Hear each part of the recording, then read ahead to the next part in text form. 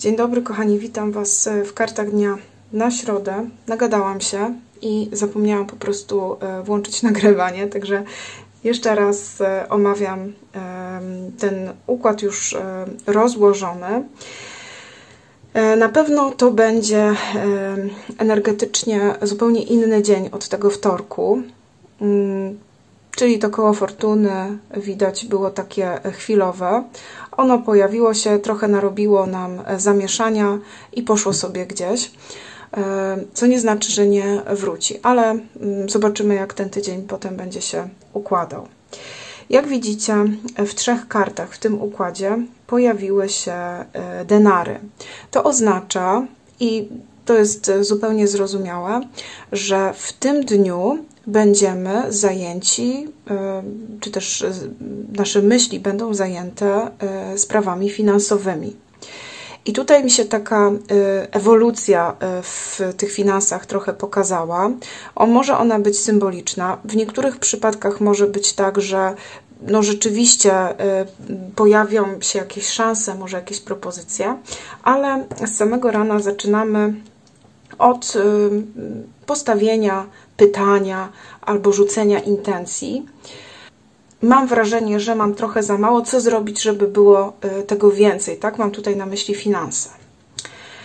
Albo na przykład e, podliczymy sobie to, co chcemy kupić. Może jeszcze jakieś prezenty mamy do zakupienia. Wiadomo, zakupy związane ze świętami. I Tutaj ta piątka denarów to jest e, karta braku. I pomyślimy sobie, że no trochę dużo. W związku z tym zaczniemy mm, dostrajać się do mm, tych spraw finansowych do, i do możliwości, które e, za tymi naszymi intencjami e, będą szły. Po prostu skupimy na tym naszą uwagę, a za uwagą idzie energia. I wtedy Właśnie, idziemy od tej piątki denarów do dziesiątki denarów, a w międzyczasie co może się pojawić? Jakaś propozycja związana z tym, w jaki sposób możemy mm, pomnożyć te nasze dochody. Może propozycja jakichś nadgodzin, może propozycja jakiejś pracy, e, może coś dodatkowego będziemy mogli zrobić, dzięki czemu po prostu zarobimy te pieniądze. I dlatego powiedziałam, że to jest taka ewolucja, dlatego że idziemy od jakiegoś braku, ale nie skupiamy się na odczuwaniu tego braku, bo e, jeżeli za bardzo się nad tym pochylimy i za bardzo będziemy to odczuwać, to ten brak będzie po prostu do nas przychodził. Stwierdzimy fakt, że chcemy więcej i tutaj e, pod koniec tego dnia jest dziesiątka denarów, tak, czyli bogactwo.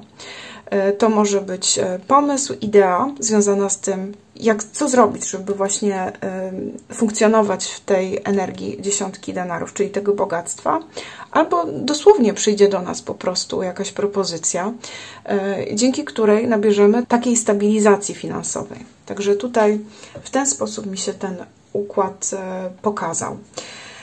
Tyle z mojej strony, jeżeli chodzi o środę. Ja Wam życzę wszystkiego dobrego, udanego dnia i słyszymy się już w kartach dnia na czwartek. Trzymajcie się.